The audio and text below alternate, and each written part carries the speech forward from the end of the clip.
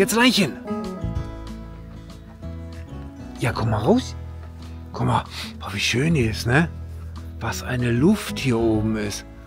Boah, Freunde. Ja gut, man kann jetzt hier nicht viel sehen, aber wir sind tatsächlich jetzt in der sächsischen Schweiz angekommen. Am Rand. Am Rande der sächsischen Schweiz, das ist ein Natur, ähm, ein Ding, wie heißt es nochmal? Naturpark, nicht Naturpark. Ähm, Naturpark, Naturpark. Nicht Tupac, Naturpark. oder? Dingespark. äh, Na Nationalpark. Kätzchen, was hältst du von Nationalpark? Die 24 Stunden parken von 0 bis 24, 10 Euro. Da kannst du nicht meckern. Ne? Und wir wollen ja morgen da in, in diese, ähm, wie heißt die Berge nochmal? Oh, ich bin ein bisschen verwirrt jetzt. ne? Jetzt eigentlich, wie heißen die Berge? Bastei. Bastei. Äh, die Bergen, weiß ich nicht. Keine Ahnung. heißen. Und da gibt Basteibrücke. Die, genau, die Basteibrücke, Freunde. Das muss so ein tolles Monument, Baudenkmal, schönes Teil sein. Also Ketzlein hat schon gesehen, ich habe es noch nicht gesehen. Und ähm, also Ketzlein hat es im Internet gesehen. Aber wir werden es euch morgen ah, live präsentieren. Naja. Jetzt müssen wir aber gleich erstmal ein bisschen essen. Wir haben kein Internet. Wir haben kein Internet. Das heißt, wir müssen Starlink auspacken. Oh, zack, Pau. Hier oben, da ist er feste gemacht, hier der, der, der Starlink. So, jetzt machen wir hier Geschwindigkeitstest. Oh, oh, oh, oh, auf Anhieb. Boah, guck mal hier. Na gut, jetzt geht er ein bisschen runter, aber 164 habe ich. Fernsehen, Fernsehen gucken können wir heute an, Kätzerleichen. Aber wir haben Hm. keinen Strom. Strom haben wir, klar. Dank Wattstunde Solarkontor haben wir Strom. Da haben wir nämlich den Sunfolder haben wir nämlich mitgenommen. Und jetzt, Freunde, bevor wir morgen uns da dahin begeben in die Kalksandsteine, in die wahnsinnigen Felsen, Bastei. Bastei-Felsenbrücke, müssen wir jetzt ein bisschen was essen.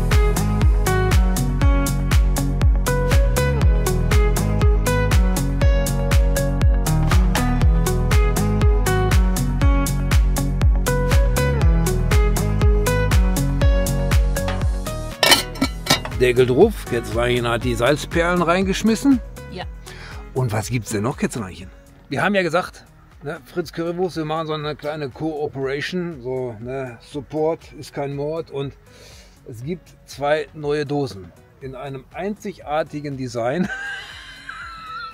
ne, aber Freunde, hier, hier steht ein, ein J drauf für Jack und hier steht ein K drauf für Kitzchen. Schreibt ihr mal in die Kommentare, genau, schreibt ihr mal in die Kommentare rein, was ihr meint, ähm, ja, welche Art von, von Currywurst oder Wurst oder man weiß es ja nicht, ähm, hier drin ist. Und bei Kätzleinchen. Okidoki, Freunde. Das, das, ich bin mal gespannt. Ist heiß, Kätzleinchen. Einmal pusten. Mal, wie schön der Himmel aussieht. Nein, wir wollen sehen, wie du probierst. Tatsächlich ja, probier mal schnell, dann können wir uns das auch angucken.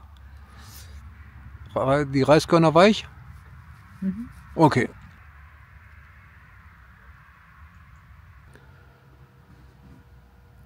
Es riecht tatsächlich nach das.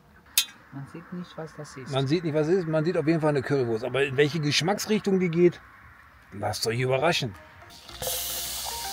Also, tu mal alles schön rein. Oh, was da drin eine Menge ist. Ey.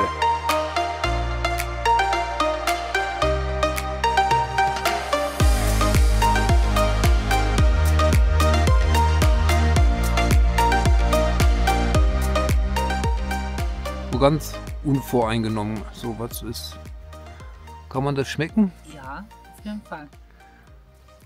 Jetzt hast du nämlich auch hier die richtig schön, schön die Soße. Ich muss die jetzt probieren.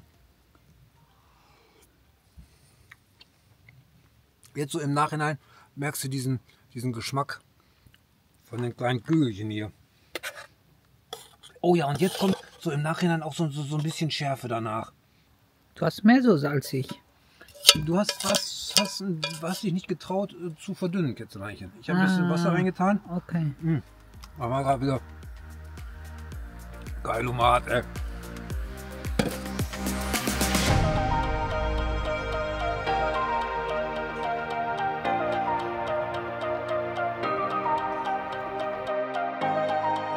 Wir sind heute Morgen leider nicht ganz früh aufgestanden, deswegen müssen wir heute erstmal arbeiten. Mein Arbeitsplatz ist hier. Jetzt eigentlich ins Arbeitsplatz ist hier. Wir sind hier draußen. Wir haben uns hier oben auf der großen Parkplatz schön verzogen. Hier oben, zack, Pau. Also wirklich richtig schön. Hatten hier auch eine richtig mega coole, ruhige Nacht. Haben hier gepennt und äh, nachher gleich, wenn alle hier wieder weg sind, der Parkplatz hier wieder leer ist, weil es ist schon, schon ziemlich voll hier. Und ähm, dann werden wir uns so, so um 17 Uhr werden wir uns äh, auf den Weg machen zu der, zu der Brücke und zu dem Gestein. Werden da ein bisschen rumkraxeln und dann nehmen wir euch natürlich mit. Es ist 17.20 Uhr. Wir haben den Parkplatz hier erreicht. Der ist nur ungefähr drei Kilometer von dem Parkplatz entfernt, wo wir übernachtet haben. Jetzt erschreckt sich schon. Nee, aber ähm, ja, wo wir übernachtet haben, dieser Park- und Stellplatz, der hat Toiletten, hat er, ja, aber sonst hat er nichts. Und hier ist zahlst du 7 Euro Für nichts. für Stehen, damit du da hinlaufen darfst. Ja, die wissen schon, wie sie Geld machen, aber naja, gut. Wir laufen jetzt zu der Brücke, Freunde. Ah, ich bin schon richtig gespannt. Jetzt rein.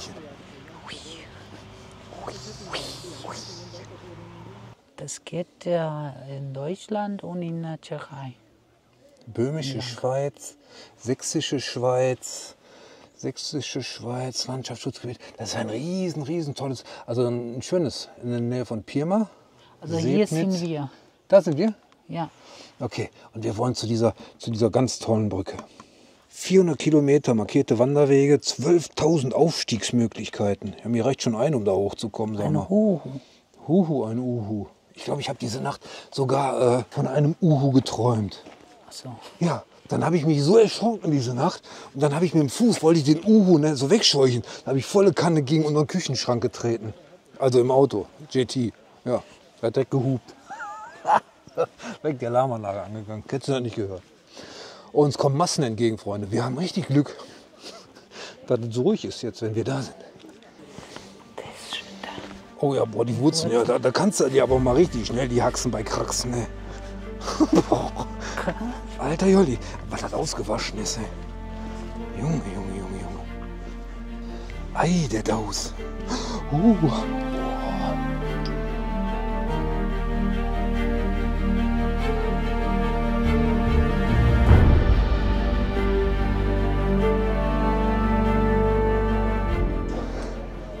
Dieses Gestein nennt sich Wellstein.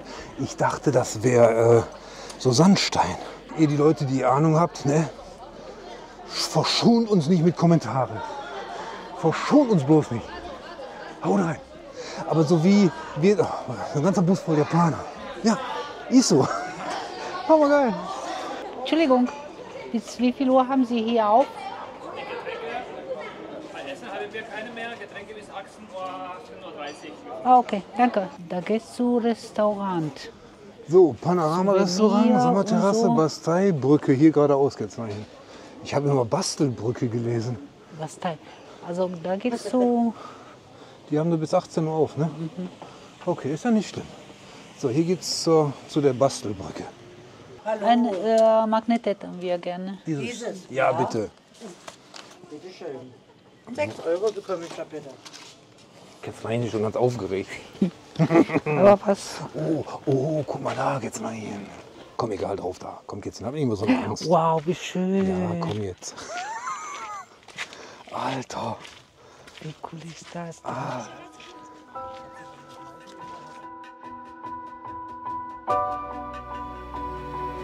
Boah.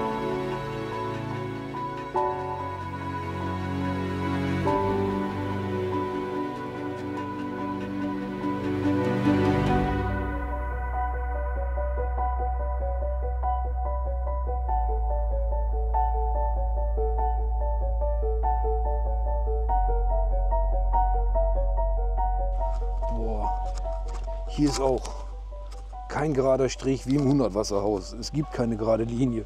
Alles krumm und schief hier. Diese auf dem langen Sand Sandsteinriff, siehste gelegene Burg, war mit ihrer Wehrgang sehr eindrucksvoll und Besonderheit im Burgenbau. Wir müssen jetzt rauskriegen, ne, jetzt ist. Ob die, die Burg hier oben war, nur die Brücke hier hingeführt wurde, so wie Ketzeleinchen gesagt hat. Georgina hat gerade noch schnell angerufen und hat gesagt, nee, pass auf, das ist völlig ganz anders, ihr liegt völlig falsch.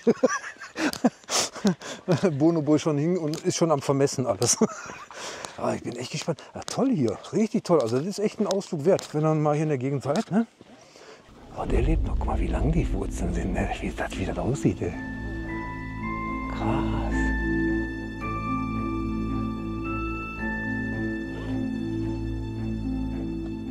Ach du Herrje, jetzt kommt hier der Gipfelaufstieg.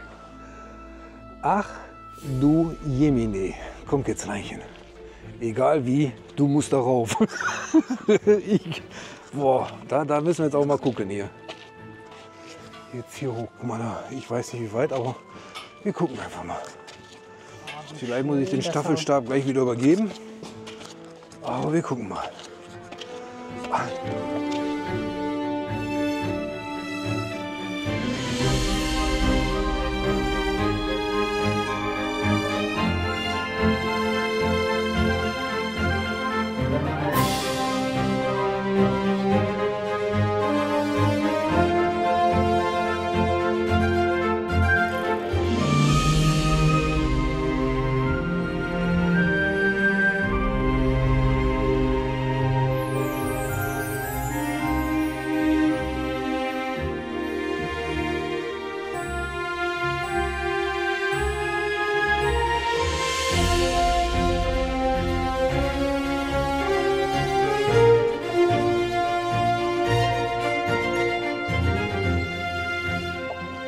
rein. Also, ich glaube, dass diese Brücke, die ist ja, guck mal, auf diesem Felsen hat doch bestimmt das Schloss gestanden. Wo sollen die Leute denn sonst daher, warum sollen die ja sonst eine Brücke gebraucht haben? Wofür? Vielleicht kam von unten nach hier Nee, oben. nee, nee, nee, nee, nee, Kepper. Die sind von diesem Haupt, hier ist ja das Festland, sage ich jetzt mal, haben sie dann die Brücke da reingeschmettert und sind dann, da stand dieses, äh, dieses, äh, diese Burg. Diese so eine Burg hat man immer so am Rande von, von, von, von, von, von den Bergen, von, da hat man ja immer so, so Burgen und Schlösser gebaut, Kitzleichen. Also ich gehe mal davon, vielleicht, finden, vielleicht steht da drüben noch irgendwie so eine, so eine Tafel. Guck mal, da oben sind auch äh, so Bergen und da Spitze. Ja, Tafelberge nennen die sich, Tafelberge. Da? Ja, Tafelberge. Ah, okay. Das sind Tafelberge. Da hinten diese Berge und diese ganzen Bergformationen, weiß ich nicht, ich kann mal ein bisschen, klein bisschen da reinlatschen, ich, eine- mehr kann ich nicht geben. Aber kann man schon ein bisschen. Also das, die nennen, nennen sich Tafelberge. Freunde, warum nennen die sich Tafelberge? Habe ich jetzt nicht im Kopf.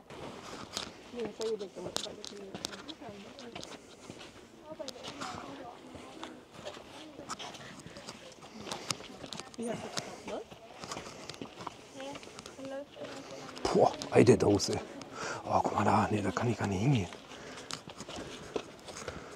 Oh, Freunde. Hier geht es direkt. Aber guck mal hier, da.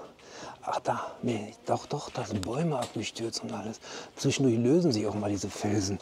Na, wenn ihr hier seht, so hier, da so, das ist wie, wie so Teer. Wenn du hier so kratzt, dann kannst du da schon, nicht, dass der ganze Felsen jetzt gleich zusammenbricht, weil ich hier wieder Dummheiten mache. Nee, aber im Ernst. Jetzt muss, jetzt muss, muss mich die Feuerwehr aber hier wegholen.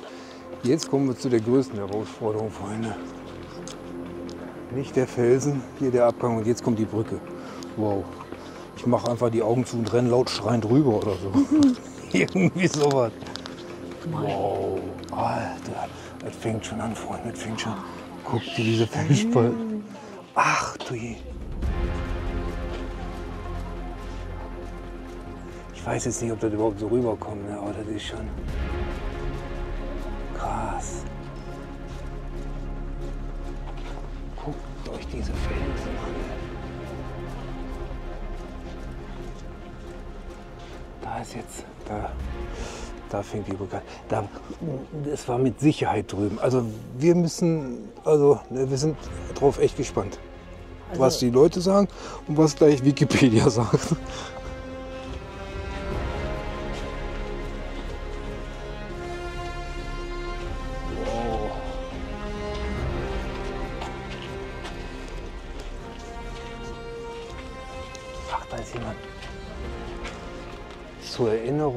Bastei-Jubelfeier steht da 1797, 29.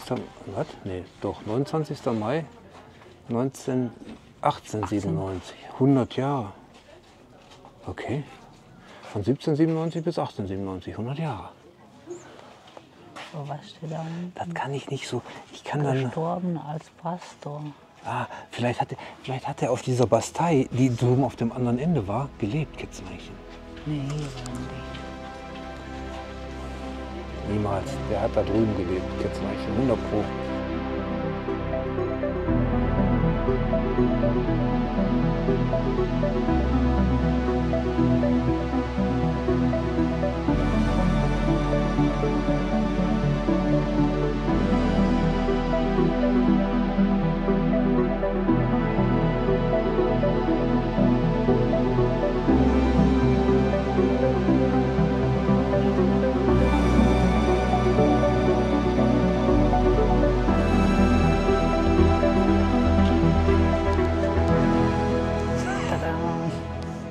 Dabei, Freunde.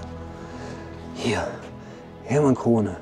Hic primus luce pin, pinzic.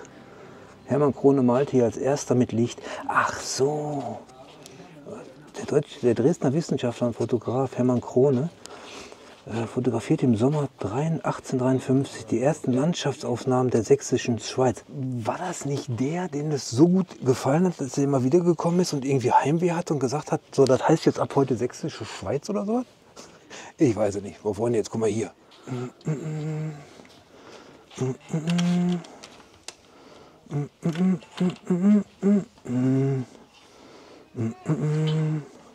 Alter, Wikinger. Und jetzt hier hinsetzen und ich hol mich, lass mich gleich vom Hubschrauber hier abholen. Alter, ich muss mich festhalten. Ist ja geil. So, und jetzt können wir hier. Guck mal hier. Da, da, da. Da, da, da. Hier in der Wiki und die starken Männer. Ja, das Lied singe ich gerade. Boah, ist das toll hier, ey. Aber ich muss mich hinstellen, dann ist das schöner. Boah, Freunde.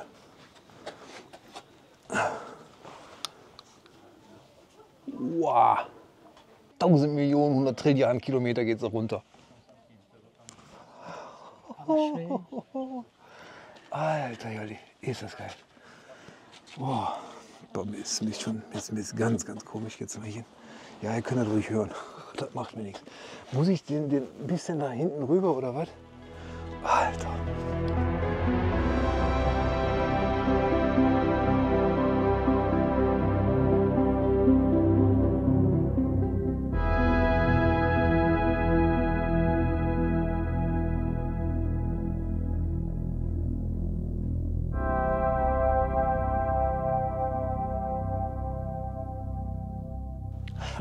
Diese Teile. Eine Platzerweiterung für die Burg. Ja. Video überwacht. Felsenburg? Felsenburg? Felsenburg? Hier ist der Eingang zur Felsenburg. Ja, ja, ja, ja. Video überwacht. Ja, wir überwachen gerade. Alter Jolli. Jetzt fällt Platsch. Aber hier waren so lange keine mehr da. Freilichtmuseum Felsenburg mit spektakulären Panoramaaussichten und Blick auf die Basteibrücke. Aber leider, das ist die Felsenburg, Ketzmeichner, die drüben angesiedelt. Aber das macht nichts. Kätzchen kocht vor Wut. ja. Ah, guck mal, diese Tour, dieser zwei. Ja, genau. Da sind wir gerade durchgegangen. Und dann war die hier auf diesem, auf diesem ganzen das Gelände war hier erster, erster Haus hier. Ja, und hier ist dieser sechs Ausblick zum Mönch. Sechs. Ach, siehst du, aber da kannst du ja leider nicht, kannst du ja nicht nutzen. Sonst wären wir mal schnell zu, zu dem Mönch gelaufen. Eins, ach, da, da kannst du dann zu dem Mönch gucken. Komm, jetzt hier runter. Krass, da konntest du da, ach guck mal, da, du, da war so ein Unterstand und sowas halt. Boah, und dann konntest du da oben von über, über diese Brücke und dann da hinten nochmal. Also das ist schon richtig, richtig toll. Und hier war diese Burg. Aber krass, wie, wie kann, kann ein Bu- Burg auf so, so schmaler. Ja, also wir haben uns jetzt in den Eingang, Ausgang reingezwängt hier. Wenn es einmal klackt, dann kommen wir da nicht mehr raus. Das meinte ich gerade damit. So, jetzt gehen wir hier nochmal. Hier ist der Malerweg. Bastei, 10 Minuten, okay. Gut, ich geh mal, wir gehen jetzt noch mal hier um den Felsen rum. Vielleicht kommt noch eine kleine Überraschung. Und, äh, Oh, hier hast du schon mal wieder eine bombastische Aussicht. Beim äh, Sonnenuntergang. Auf jeden Fall, ne? Es besteht, weil hier da ne, Wahnsinnige gehen bis da vorne hin und so alles nur um das, das revolutionärste äh, Pik zu schießen. Also nicht das Tier, sondern ihr Bild, ne? Boah, hier, hier nochmal richtig, noch mal richtig nach oben. Ha? Ich sag, jetzt geht's hier noch mal richtig nach oben. Ah. So. Siehst, wir kommen genau richtig. Mahlzeit. Bütterchen, perfekt. Besser geht nicht.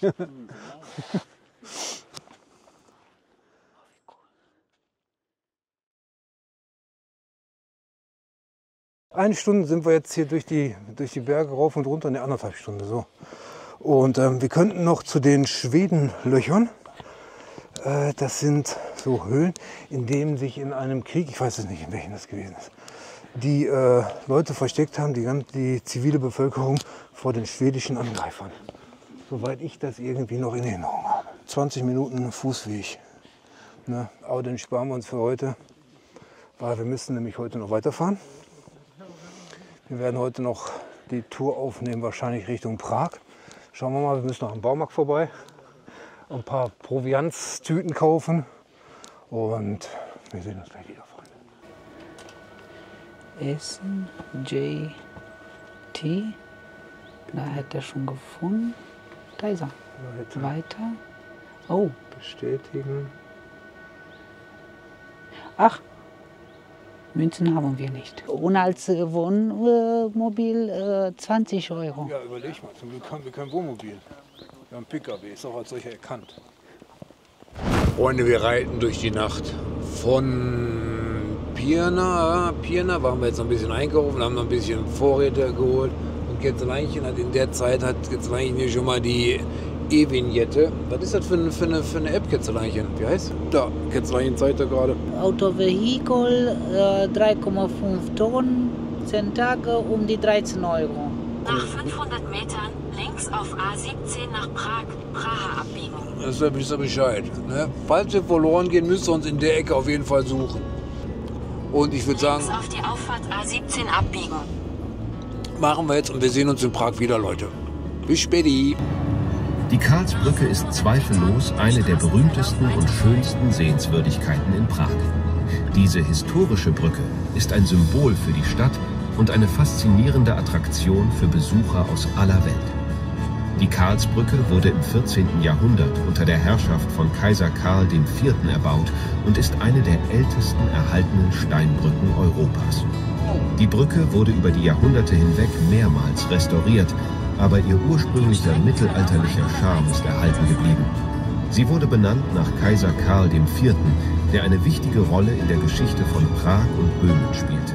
Die Karlsbrücke Morito, wir sind in Prag, Wir müssen leise sprechen. weil wir auf dem Campingparkplatz sind. Ja, das ist ein Camperplatz. Hier stehen alle so Camper. Hier stehen ein bisschen Wohnmobile rum. Also mitten in Prag, das das ist überwacht der Platz. Da oben sind, sind schön alles, alles Kameras und Gedöns. Wir haben jetzt, wir laden gerade die Powerstation. Haben extra vorhin noch im Baumarkt haben wir noch Kabel gekauft. Wir hatten kein Stromkabel dabei.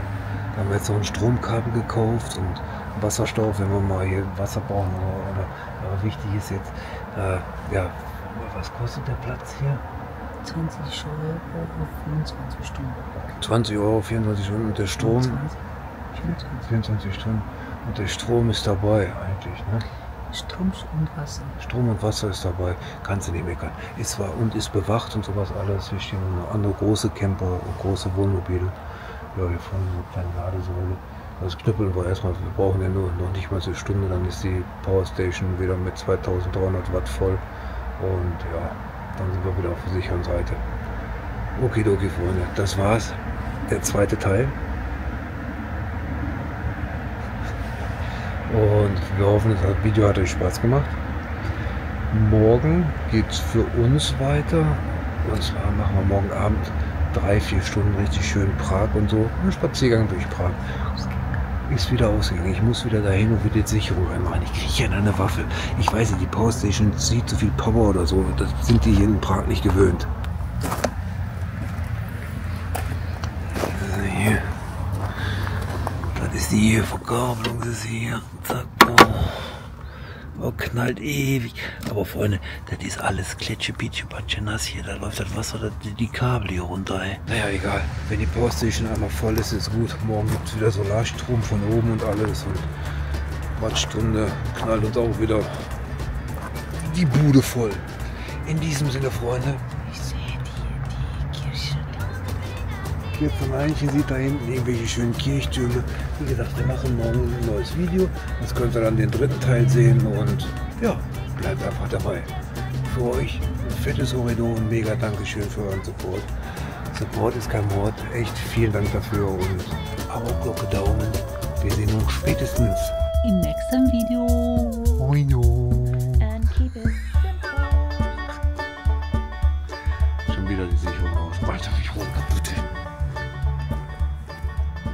cho đừng gọi